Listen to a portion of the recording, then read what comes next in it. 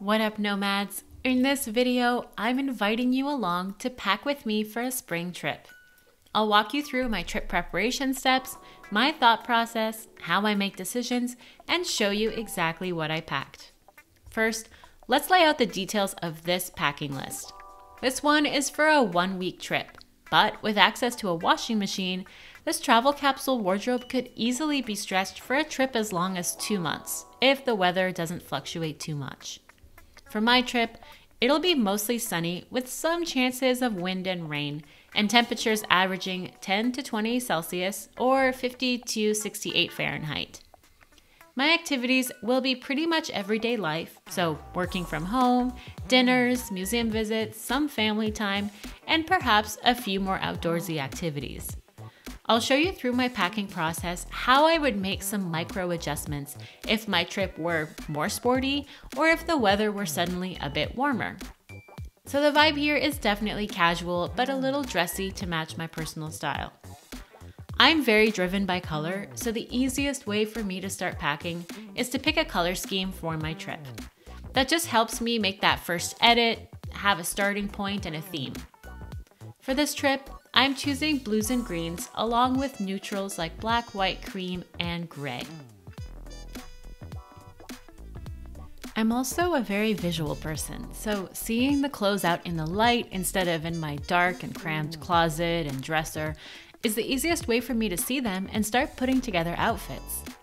I do the same for outerwear, accessories, and shoes, so my packing is concentrated to one room. It's like getting all your ingredients and tools out before starting to bake a cake. I try to do this at least a day or two before my actual trip because I hate feeling rushed, and sometimes I need time to wash, iron, or mend the clothing I ultimately decide to bring. I even unpacked my packable raincoat and put it on a hanger so I could easily test outfit ideas as I pack. Alright, here's my short list of what I'm considering for my spring transitional weather packing list. This is a little cotton top that I picked up at a thrift store that is a great layering piece and can be worn open or closed and layered. This is a knit vest that is also great for layering or just worn on its own as a tank. In the same vest theme, I've got this more dressy wool uh, suiting fabric vest from COS that I love on its own or as a layering piece as well. This is a very casual cotton shirt, which I would pack if this were a more laid back type of capsule.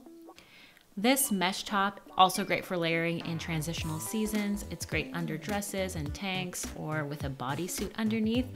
This is a situation where um, an item requires another item to be packed with it, so I would put them together to make sure I don't forget one or the other.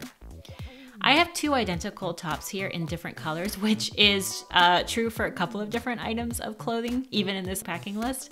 So I'm putting them together because I'll probably only bring one. This sweatshirt is a super cute crop style that has a lot of personality. The only downside is it's hard to layer under leather jackets. This top is a twist on a classic button up shirt. So the buttons are on the side and it's got this cool um, like boat neck look going that can be also off the shoulder if you want to wear it that way. I have another dress shirt. This one is a menswear shirt and it has wool in it, so it can kind of be a nice overshirt as well. And similarly, this is a silk black button up shirt, which I also wear sometimes as a jacket. This is a knit top with some cutaways, which are very trendy this spring. So this was a nice kind of going out top that's not too fussy. This dress is a blend of merino wool, so it's actually quite warm, but it is super versatile and it can be dressed up or dressed down with sneakers, so I'm definitely packing this one. Depending on whether I'm going to be spending time outside hiking or um, playing outside with my nephews, I may bring this fleece TBD. Or I could bring a sweatshirt too. So I have some options for warmer sweaters. These are two trousers that are kind of similar in vibe. They're kind of a silky fabric uh, trouser. One is silk navy and the other one is a black synthetic polyester blend. In terms of outerwear, I have the options of packing my leather jacket, which is a great versatile piece. I could also dress down any of these outfits with an oversized denim jacket, which can fit nicely over sweaters. And lastly, I have this packable rain jacket, which depending on the weather forecast will probably make the cut.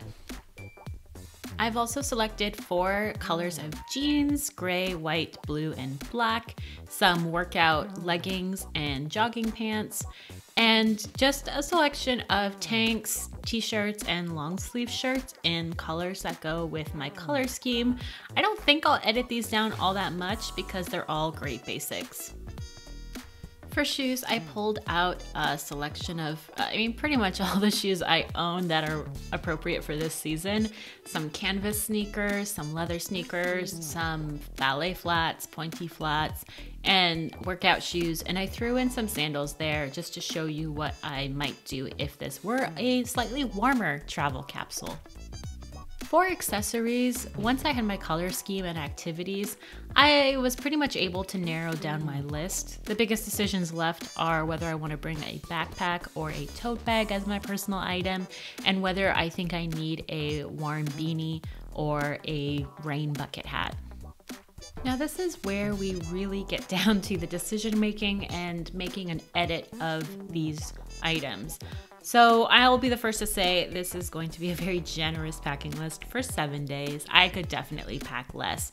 But if you're looking at this capsule as a capsule wardrobe for the entire spring season, then I think this is a great selection that has plenty of opportunity for mixing and matching. So I would start with two to three pairs of shoes, three to four pairs of pants, but you could easily swap out pants for skirts or shorts depending on your trip, one dress, one to two outer layers, so your outerwear, four to six tops, and that can be blouses or t shirts or tank tops, and then one to two sweaters, depending on how thick the sweater is uh, and how much room you have in your suitcase. So, the first thing on the chopping block is really everything that would be in a very outdoorsy and sporty capsule. So, the best way for me to uh, make this decision is just to try stuff on. So here I'm trying on a couple different coats, different shoes, different hats, some of the long sleeve shirts and sweaters that would be more fitting for an outdoorsy capsule, just to see if I feel strongly that these are items that I want to bring or looks that I would like to be able to create. I want to talk a little bit about my philosophy and tips for packing pants for this capsule, my pants are kind of falling into three categories. I've got my selection of denim, and I have that in four colors so far. I've also got my workout pants, and I've chosen two models. And I've got two pairs of silky, kind of dressy pants.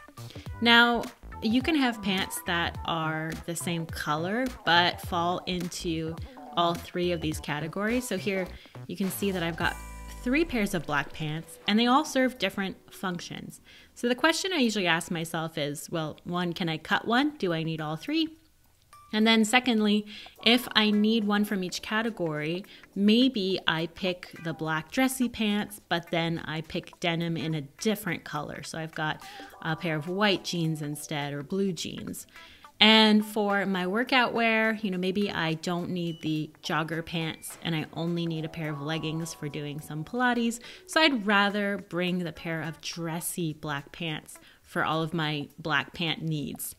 So that's really how I make sure that I'm only bringing pants that really help give me more options rather than potentially packing duplicates. After trying on my leather jacket and my raincoat, I'm pretty sure I want to bring both of them.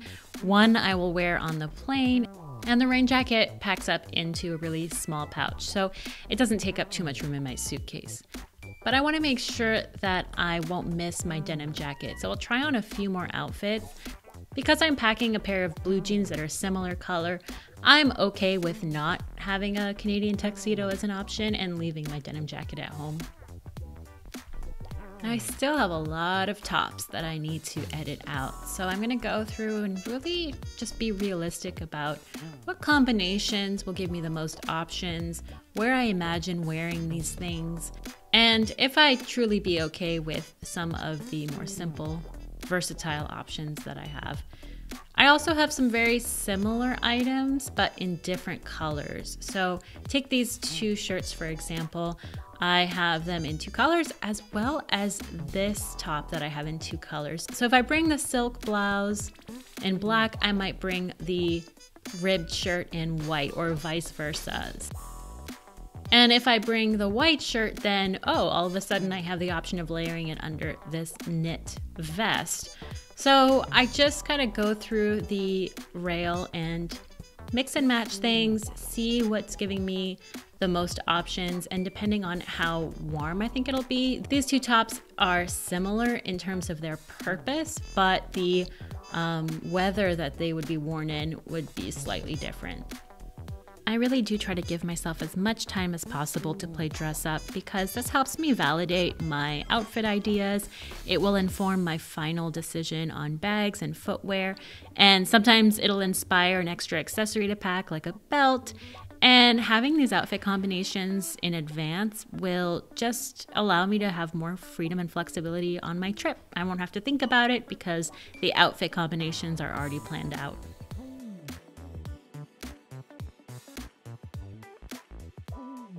I find two to three pairs of shoes to be my sweet spot because it allows me the flexibility to have a more athletic shoe, a more casual shoe, and something that I can potentially dress up.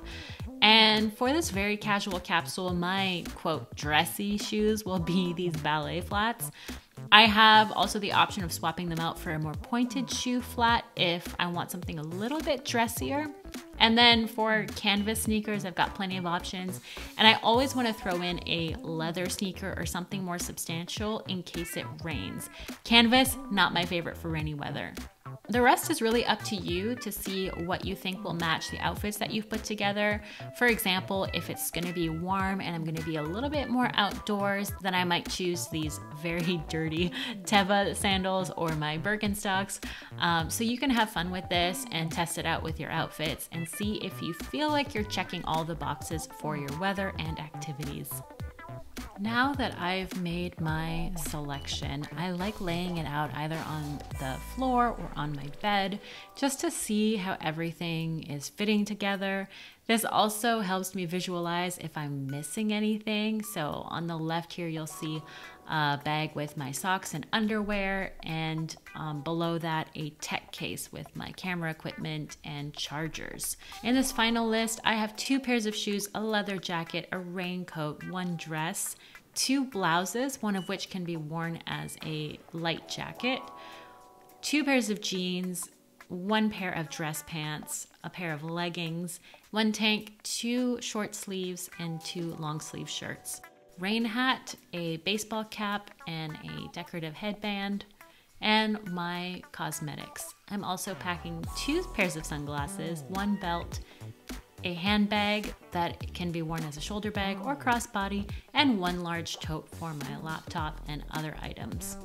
I'm also packing socks, underwear, and PJs, jewelry box, my laptop, camera, phone, cables, my water bottle, wallet, and my travel pouch, which has clean masks, wipes, hand sanitizer, some medicine, some gum, and other knickknacks. So now it's actually time to start packing. So I like to start with my personal item and I pack my wallet, passport, travel documents, travel pouch, and then I put my laptop and some tech accessories. Depending on the length of the flight, that might just be my AirPods or it could be my mm. charger as well.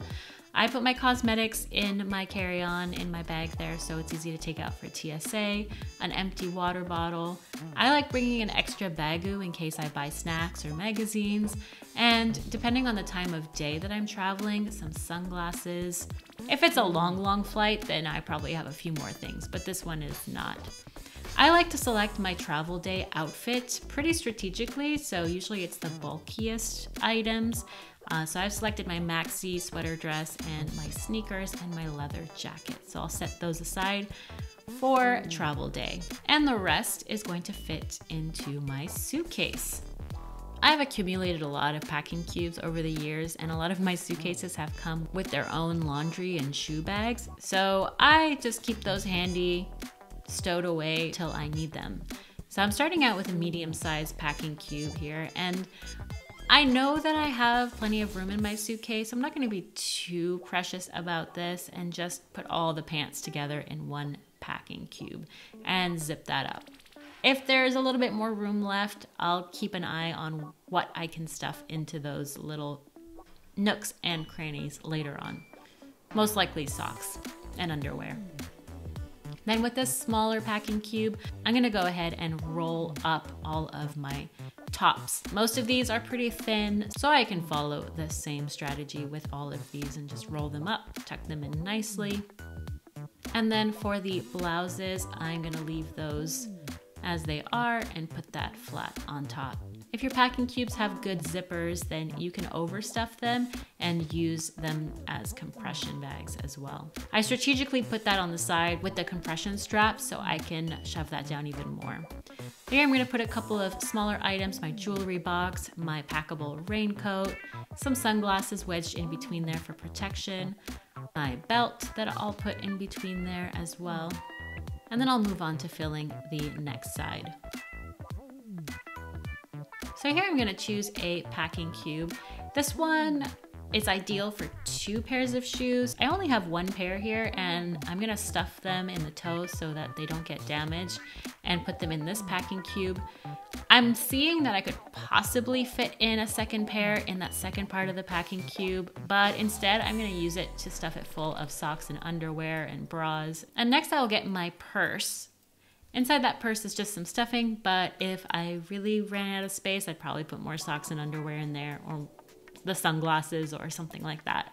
And then the Dyson is probably the most inconvenient thing to pack for me right now. The cable feels really long when I have to fit it in a suitcase, plus the diffuser attachment.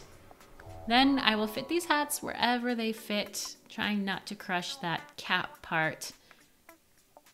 And before zipping this up, I would probably toss in one of those laundry bags to the left just so that when I'm on the go, I have one place to separate my dirty laundry from my clean clothes. And that's it. That is how I pack for a trip. Let me know in the comments if you liked this style of video and other types of packing lists that you would be curious to see. Thanks for watching and happy travels.